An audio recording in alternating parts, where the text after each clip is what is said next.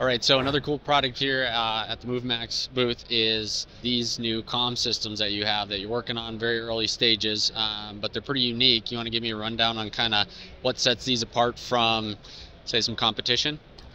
Yeah, so we don't want to just come out and create another version of headset that people, you know, might just get either confused or may not want to buy. And so we've been talking a lot with the customer on is there anything that you would like to see improve?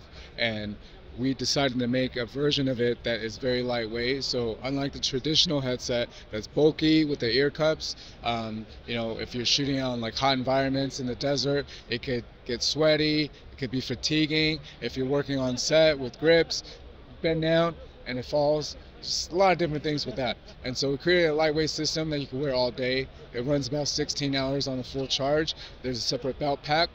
And so it's Bluetooth connection roughly 20 or so meters and so you just clip it onto the back of your belt you're ready to go and with this system you know it just uh, it becomes much more convenient and so it's basically two speakers that's you know projecting the sound and so you can also hear the natural noises in the background as well as being able to hear the speaker between whoever it is that you're talking to.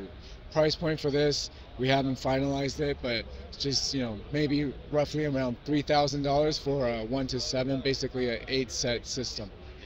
Cool. Yeah, that's really cool to see something really unique to uh, what's out there. And um, you said up to 16, is that correct? Units, and it comes with kind of the base kit would be something around eight units, right? Yeah, so you can buy one kit that goes up to eight sets, and then you could buy a basically like a base station type of thing, and then connect it, and then you can run it up to 16. Very cool. Well, appreciate it. Excited to see these come out and uh, start to see them on set.